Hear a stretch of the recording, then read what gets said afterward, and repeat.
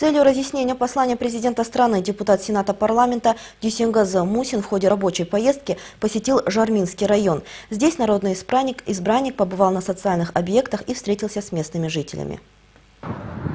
Первую очередь сенатор встретился с жителями района Сулух-Булак. Главной темой встречи стало нынешнее послание президента.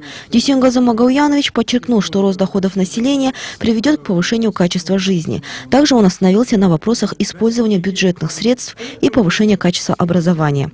Далее народный избранник встретился с коллективом и учащимися технологического колледжа города Шар. Во время беседы со студентами Дюсенгаза Мусин подчеркнул, что в послании главы государства особое внимание уделяется молодежи. Огромная задача ставить огромную роль нашей молодежи. Вот я сегодня встретился со многими молодыми специалист- специалистами э, разных э, направлений, разных отраслей.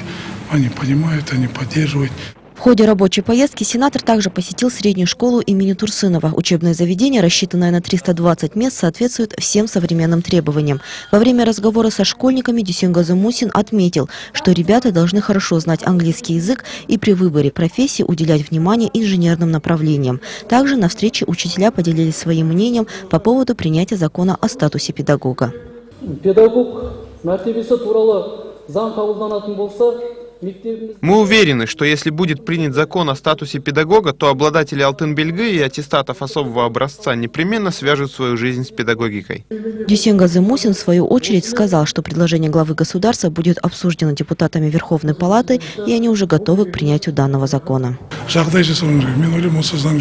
Мы должны освободить учителей от работ, которые они не обязаны выполнять, поднять их уровень образования и профессиональной подготовки, дать им больше времени для подготовки к занятиям. Я считаю, что законопроект будет подготовлен в плане таких комплексных мероприятий, как повышение заработной платы, создание жилищных условий и других не менее важных вопросов. Далее депутат Сената ознакомился с работой отделения по оказанию социальных услуг. Ими здесь пользуются не только лица с ограниченными возможностями, но и одинокие пожилые люди.